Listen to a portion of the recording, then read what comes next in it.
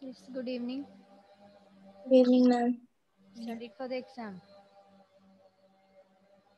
Finish studying? Finish studying, Amal?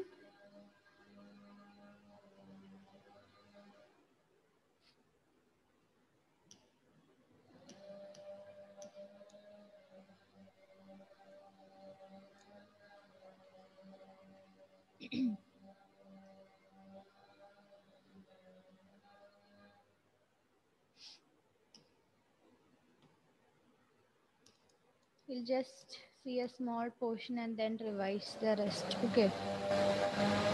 From the chapter learning, we'll see skill learning today. I hope you can see the screen. Okay. So, what do you mean by skills?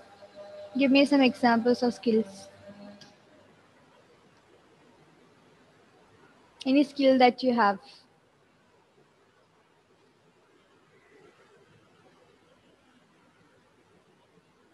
Yes. To write. To write, yes, writing skills. Then To sing and dance. to sing and dance. Then dancing skills, singing skills. What else?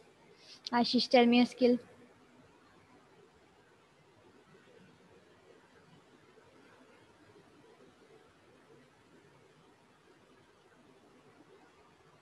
Everybody tell one example. Elvina, Learning. learning skills. Yes. Then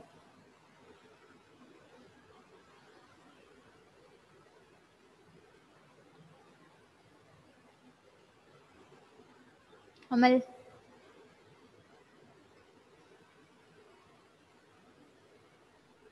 and are designing huh? And designing Designing, yes. Designing skills. Hmm. Then Ashish. Krishma, switch on the video, please. Ashish, give me a skill.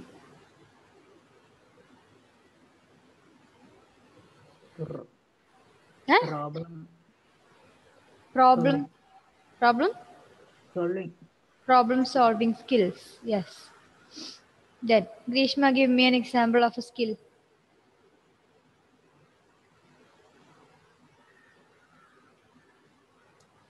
Network issue. Sit. Sana, are you there? Sana and Grishma, I can't see you. If you can hear me, give me an example of a skill.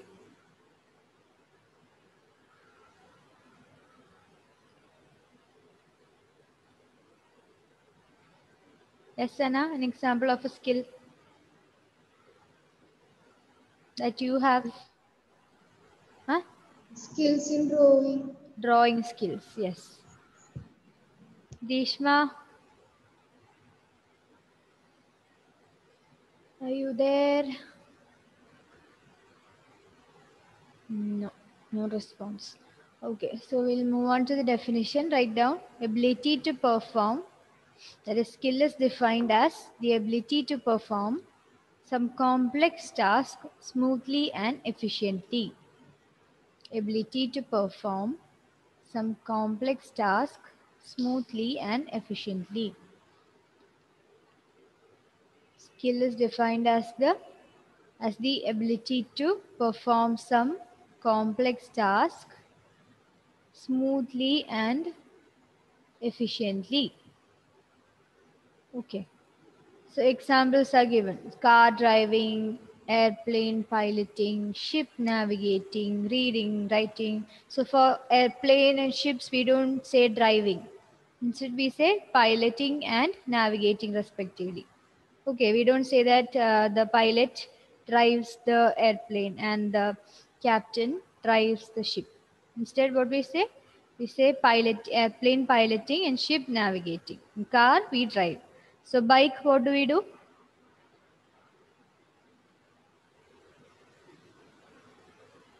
Driving. No. Riding.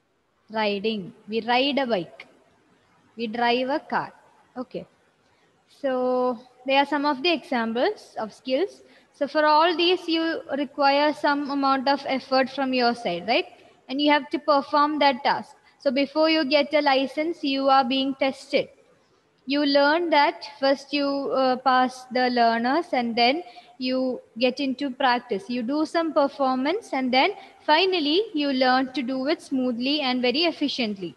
Then only you'll receive a, uh, a guaranteed license from the government. That's how the usual process goes. Okay so this is learned by practice and exercise. That is one point to note about nature of skills. Okay so in nature of skills, you have to write the definition, one example, and you have to mention that it is learned by practice and exercise. It's a very simple topic. Now we have one more thing in this uh, section that is stages of skill acquisition or phases of skill acquisition. Write down phases of skill acquisition. A C Q U I A C Q U I S I T-I-O-N, acquisition, the phases of skill acquisition.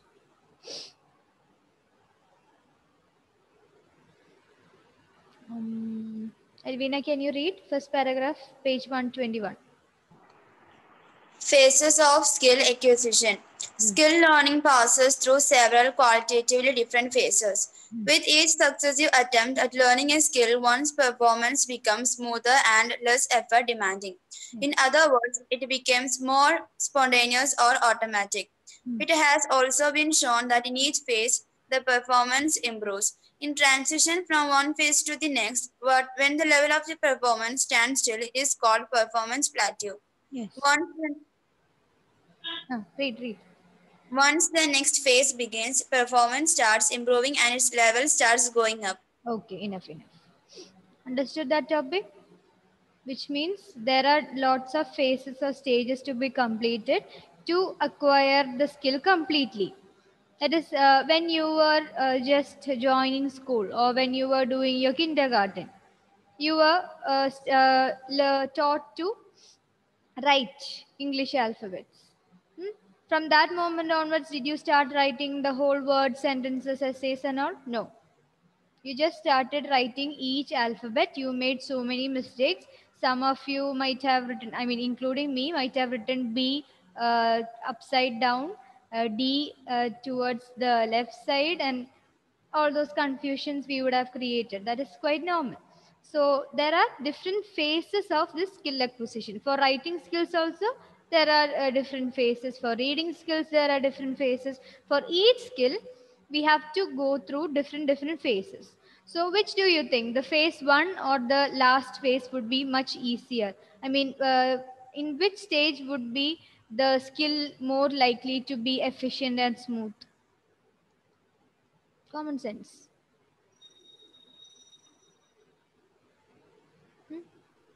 The last.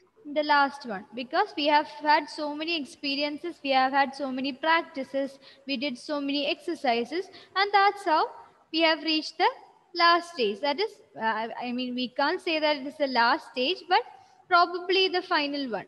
After that also we keep improving our skills. Similarly just uh, because we know we have learned english we keep improving english day by day right the speaking skills, the writing skills. We hear so many new words day by day. We include that into our vocabulary. We improve based on that. We attend accent reduction classes. We learn different slangs of English. We learn different sounds. We correct our mistakes and move on. Isn't it? so we keep on learning these skills there are different phases i told you and from phase 1 to the probable last one it is a very long journey. And there are different things taking place in between. So one uh, famous model given by Fitts. Write down f-i-t-t-s that's a person f-i-t-t-s model according to the model given by Fitts these are the three phases or stages. That is cognitive, associative, and autonomous stage or phase. According to him, there are basically three phases for skill acquisition. These are cognitive, associative, and autonomous. Okay, cognitive, associative, and autonomous.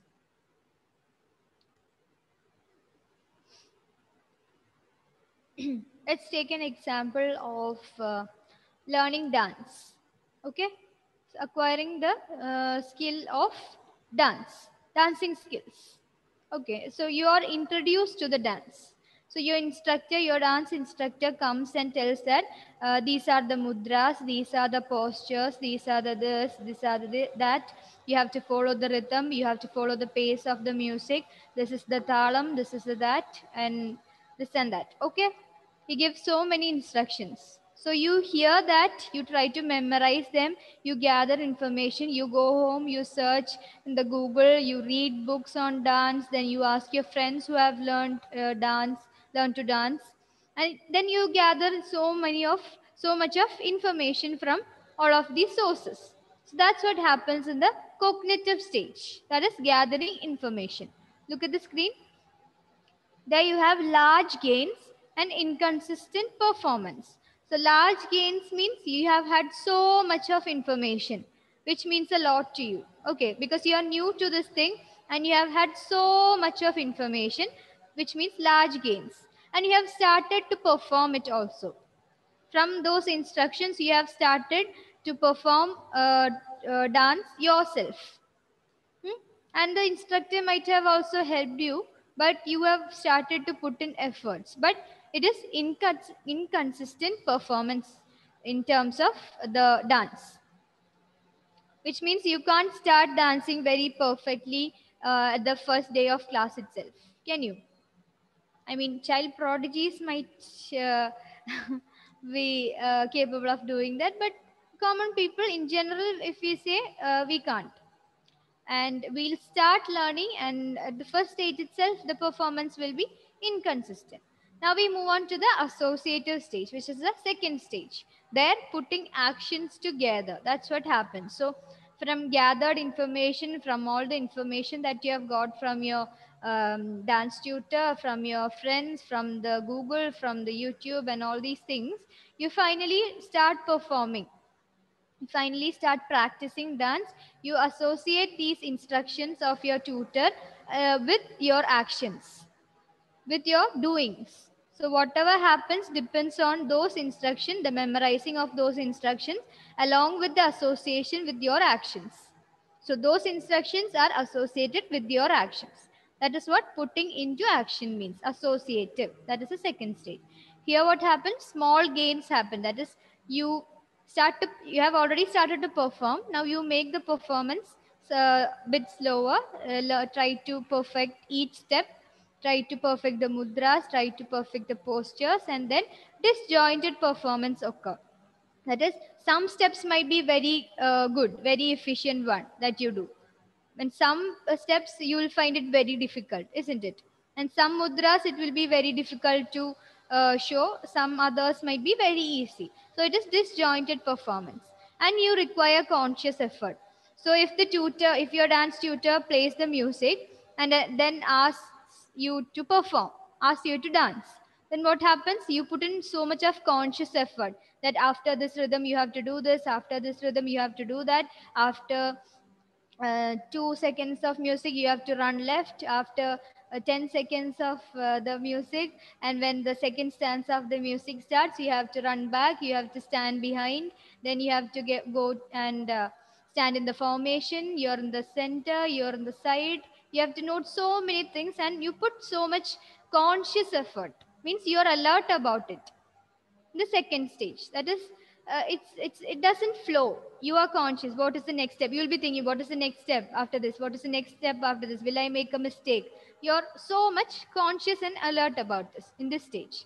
Now what happens? You eventually practice for days for weeks for months and finally you have reached a particular stage where everything comes in a natural flow. That stage is the autonomous stage okay? Much time and practice. So the process requires much time and practice.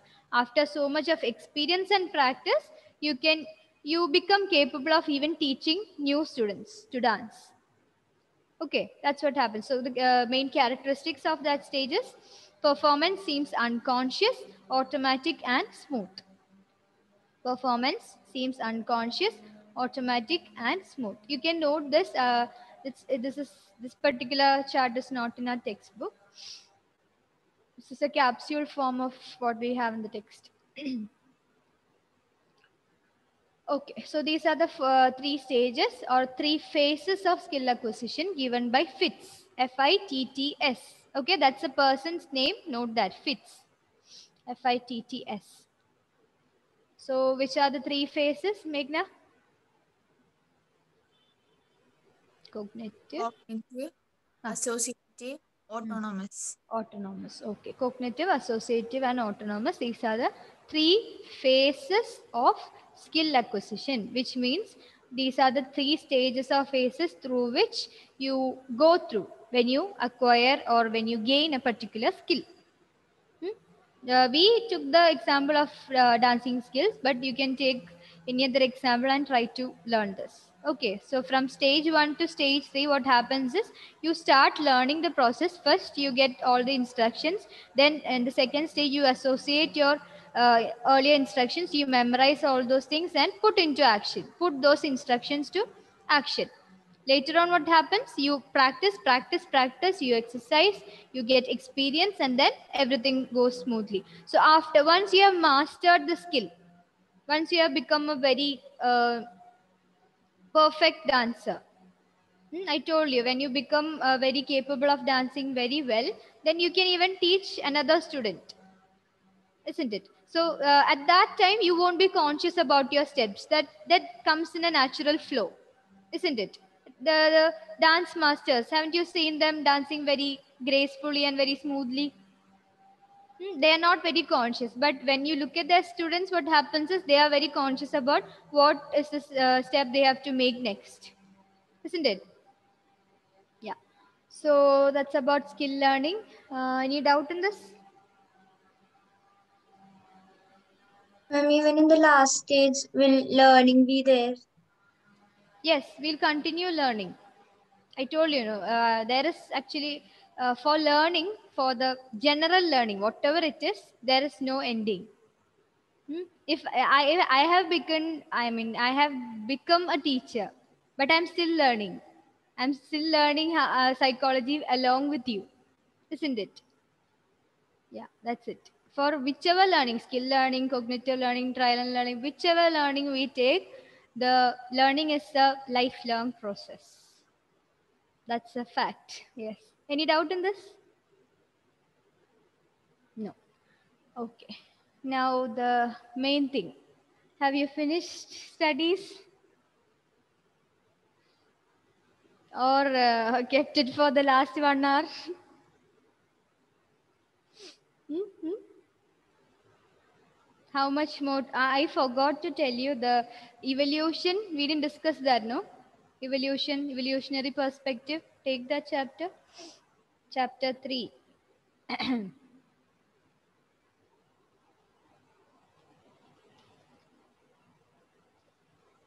evolutionary perspective we didn't discuss that day. Did you read? Anybody read that topic usually what happens is in the introduction nobody uh, takes the courage to read the introduction part. Uh, we'll just read through because you might have quest you might uh, it's not you might you will have questions from that section also. So we'll just read through. We have time no? Till 5 class is till 5 right? Yes. Um, aishwarya start reading. They, uh, you must have observed that people differ with respect to their physical and psychological characteristics. Hmm. The uniqueness of individuals results from the interaction of their genetic endowments and environmental demands. Hmm. In this world, there are Anybody millions of underline in that chapter Huh? anybody underline anything that day Yes, ma'am. uh, what did you what did we underline Um, what is evolution? Uh, evolution refers to gradual and Orderly biological changes that result in species from their pre-existing forms in response to the changing adaptational demands of the environment. how many of you are thinking oh should i learn this definition for the exam no need, leave that. No problem. I'm asking about the first paragraph, the physical and psychological characteristics. Just mark that and keep. Okay. Then, um, second paragraph, no need. Third one, yeah, uh, read from the right section, Ashish. Evolution occurs through the process of Evolution occurs through the process of natural selection. Do you know the members of each species vary generally in their physical structure and behavior? just a minute, They just a minute. Everybody read along, okay, so that you don't have to read again before the exam. Hmm? Do mindful reading. Put in, put yourself into the reading and read. Ashish, don't read for the sake of reading. Uh, you know, we had an activity during a PG. Uh, one, uh, we had an add-on course in English. So uh, our sir came into class and he asked one of our uh, batchmates to read one portion and she read very very she read very beautifully. And then after reading sir asked do you remember what you read? Did uh, do you remember at least the content of what you read? She told no. No sir i don't know. She was very conscious about uh, making the reading very well. I mean that um giving the right pauses giving the right slang. And she was very conscious about it that she forget forgot about the content. She didn't even think or she didn't even associate with the content in the book. So just read it uh, uh, as and when you want however you want but just understand the concept and read. Okay everybody else read along. Yes start. The traits.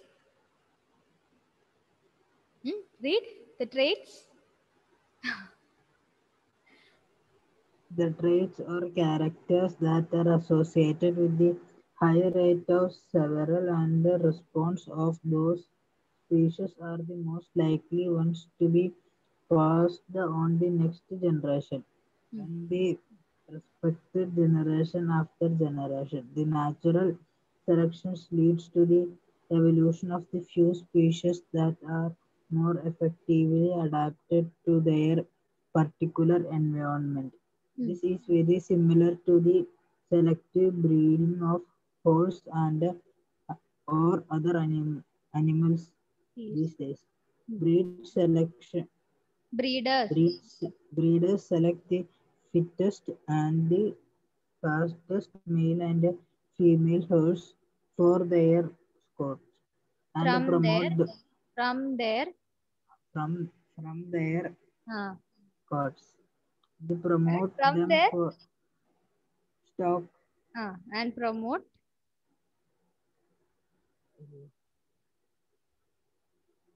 lost track and promote and promote them for selective breeding Hmm. so that they can get the fittest horse. Fitness is the ability of an orgi- organism to survive and uh, contribute to gen- genes to the next generation. okay then amal read the next paragraph Three important features of modern human being differentiate them differentiate from their uh, Ah. differentiate differentiate them, them from their anci- them from their ancestors. Hmm. A big and developed brain with increasing capacity for cognitive behavior like perception, memory, reasoning, problem solving, and use of language for communication. Hmm. Second, the ability to walk upright uh, right, on the uh, two legs. two legs and third uh, are a free hands with workable opposing thumb.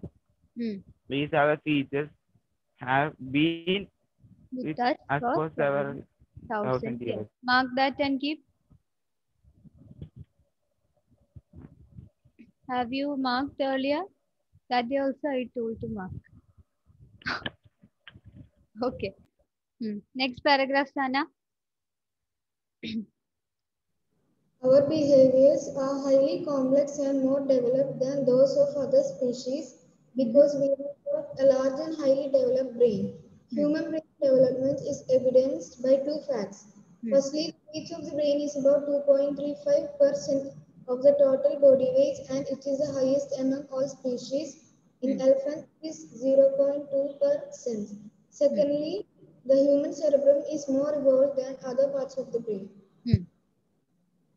Okay. Now last paragraph. Uh, I'll read. These evolutions have resulted due to the influence of environmental demands. Some behaviors play an obvious role in evolution. For example, the ability to find food, avoid predators, and defend one's young are the objectives related to the survival of the organisms as well as their species. The biological and behavioral qualities which are helpful in meeting these objectives increase an organism's ability to pass it on to the future generation through its genes. Hmm. The environmental demands lead to biological and behavioral changes over a long period of time. Okay. Yes. Um, fine. Now, any doubt in the chapter? This chapter, not the learning, this one. How much time left for the exam? One and a half hours, isn't it? Any doubt? How much have you finished learning? How much percent of the chapter? I don't expect 100, no problem. How much have you learned, Elvina? Ma'am, I have to learn the diagram of the neuron. Yeah. Then, Only that much. so 99? No. 90?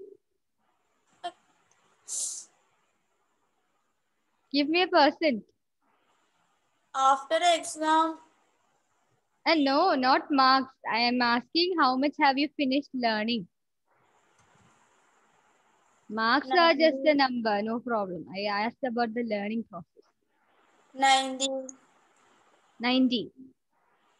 Nine, 19 or 90? 90. 90.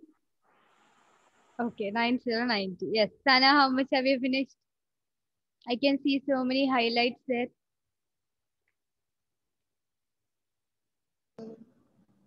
80, 80. Okay. Uh, Amal, Um, 70. 70. Hmm. Meghna, 80. 80. Aishwarya, 80, 80. Ashish,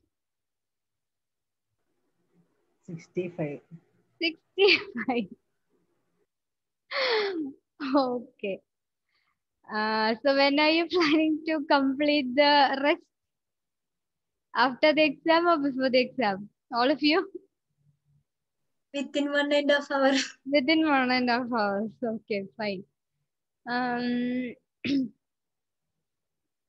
hmm, neuron, everybody studied except Elvina. Amal, Ashish, structure of neuron. I told no, compulsory they learned that. Go through the revision questions. Uh, the last 15 minutes save for the 15 questions that I have sent. 15 or 16. I've sent some of the questions, no? Revision Six. questions. Ah, 16. Okay. And um, when you write the exam, for the one mark questions, just answer to the point. Okay, don't write, keep on writing the rest of the blah blah blah and keep uh, because uh, you'll just get one mark for it. If it is correct, you'll get one mark. If it is wrong, you lose one mark. That's it. And you have 10 marks for that. Then the two marks questions, you have five. And that also subdivisions are there. Be careful. Read the question carefully and then write. Okay. And uh, the structure of neuron also draw, label it. Label it correctly. Then what else? Five five questions are there, I think, for two marks questions, which have subdivisions also. That's why I told read the question, check the answers before you submit. Don't get tense, it's very easy. Ashish is holding his head and sitting. Hmm, what else? Yeah, uh, do spare some 15 10 minutes for my revision questions. They are very important. That's why I'm telling again and again. Uh, yes, did you tell the others, the absentees, that day who was absent? Uh, Reina was absent. Did you tell her, Meghna? Yes, ma'am. Okay. Then, what else? No more questions are there. No more questions. You used to have our questions period, for periodic test? For the first one, we had, I think so, but that was for 40 marks. yeah if uh, if i give questions for this uh, half an hour exam what will happen you know? Uh, for 10 minutes you'll be uh, you'll spend the 10 minutes for choosing among the our questions. You'll decide should i write this? Should i write this? Should i write both? And there are some people who write uh, both the answers for the our question isn't it i was one among them when i used to do my degree in psychology uh, i wouldn't completely know both the answers so what I do is, if I have time, I'll write both the answers and keep. And the teacher has to select best among the two. So it's better for me and for you that I don't give any of questions. We have revised it well, so don't worry. Mm, go through the portions once more. So shall I leave you then? You'll get four minutes extra for studying. Okay, all the best. See you in the evening. Bye. Thank you, ma'am.